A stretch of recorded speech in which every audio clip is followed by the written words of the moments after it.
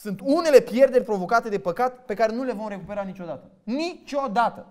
Sunt anumite fapte pe care le facem și lasă anumite consecințe în viața noastră sau în viața familiilor noastre sau în viața adunării care niciodată nu vor fi recuperate. Este o anumită, uh, anumite păcate pe care dacă le facem strică într-o asemenea măsură mărturia. Că trebuie să treacă poate generații și după generații. Oamenii din tată în fiu vor perpetua și vor spune mărturia oamenilor și adunării respective care s-a făcut vinovată de anumite lucruri.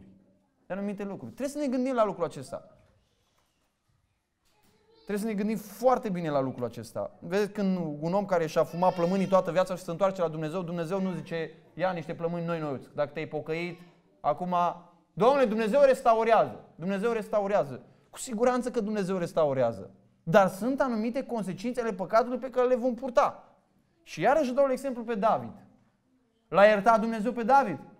L-a iertat Dumnezeu pe David. Îmi zicea, uh, așa, la distanță cineva, uh, un slujitor care a păcătuit într-un mod absolut scandalos și pervers, zicea, ce, Dumnezeu l-a schimbat pe David împărat, de ce să mă schimbe pe mine ca păstor?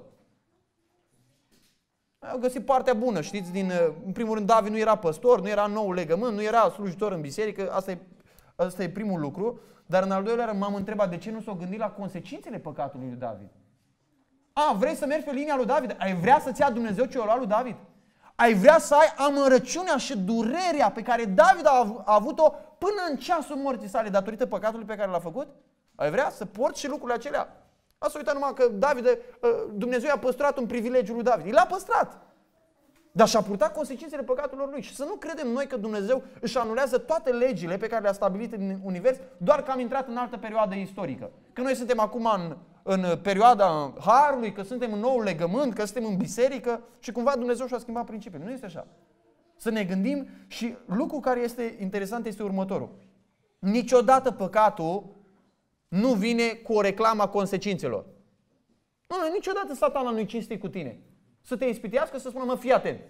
Uite, o să ai atâta doză de plăcere, cam atâta o să țină. Un minut, două, trei, patru, o zi, două, trei, o săptămână, două, trei.